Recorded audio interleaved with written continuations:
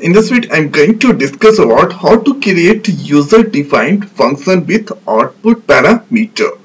So at here, first I'm going to write the query. So at here, writing create function and uh, here, let's give the function name form and here first the parameter the name going to take a so this should be input type and your data type number now here after going to take next. Variable so this should be output and here data type number. And here after going to take variable c so this should be input and output. And data type should be number. So here taking three variable now here let's use return so this will return number and hereafter let's use is here after second and next here b. Colon equal to a plus 10 and here after c colon equal to c plus a. Now after going to return the value of c here. Close by semicolon and here let's use end. So this is the query to create the one function with input and output parameter. So see right here previously i used input parameter. So this time input here out and here in and out.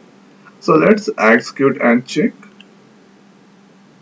So right here function compiled successfully. Now here after select the function and refresh. So one function it's created and here you can check the parameter. So here this is the number. Here b number c number now here after i'm going to execute this function. So next we need to execute so right here write declare. So there and here so first variable taking x so this should be number and here initializing the variable with 10 now next variable going to take y. So this should be number.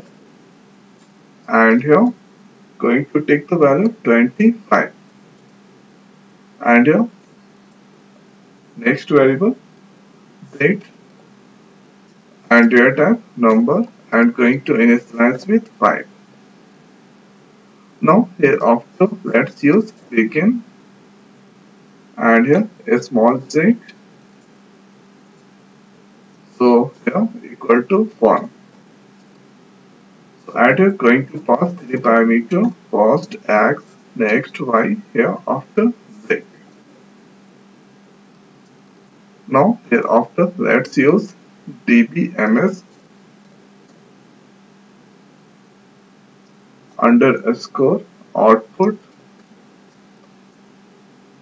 dot put underscore line and here first going to print the value of x. So here going to write x equal to single quote. Here after double pipeline and concatenating the value with x. So here let's use single quote y equal to y. Single quote and concatenating with a small y. Now here after equal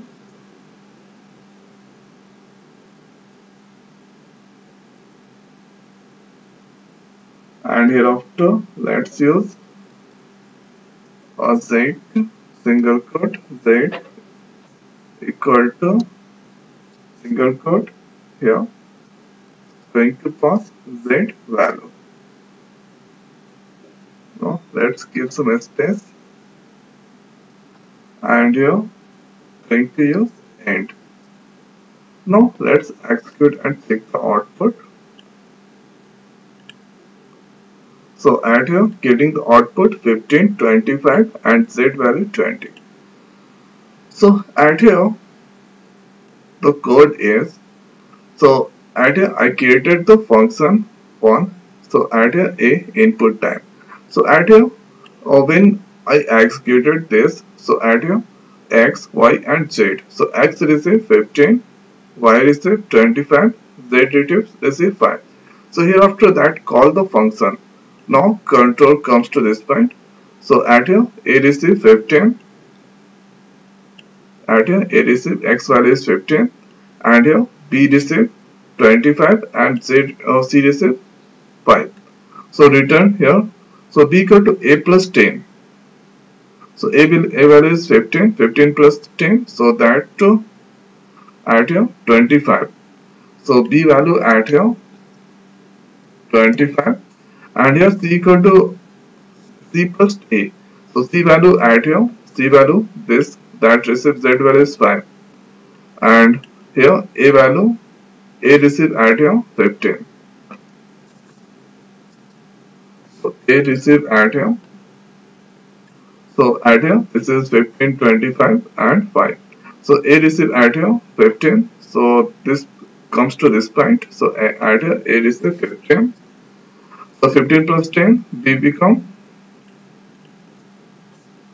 b become 25 now here after about the c. So c equal to c plus c equal to c plus. So c receive add here the at z value is now 5 so at third position that uh, here this point c value is now come 5 so at here 5 and a value is now at here 15 a value is 15 15 plus 5 the value come 20 okay so c value is now 20 so that returns c value is 20 so at here this point a value is now 15 after calculating. B value is 25 b value is 25 here and c value is the 20 so this point so this point that value is at here 15 25 and 20 now here after that display one by one. So a value is now 15 x value is 15 y value is 25 and z value is 20 so this is the way output it's coming. So at here no need to worry about the variable. So whatever the value at here if you execute so xyz so i've given the xyz values the x value come 15 25 and 5 so at here after that call the fun function. So control comes to this point so because at here the first parameter a value is now at here that compare. So this value is a, this x value 15 that go to a and here this y value 25 so this will go to b. And here or this z value is 5 so this will go to here. Here after that comes to return begin. Here after that do some mathematical calculation. After that when the mathematical calculation over so finally whatever the value of x y z it's back here. After that print.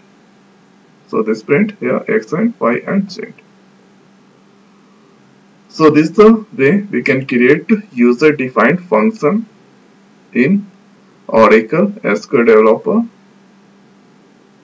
by using output and in output parameter.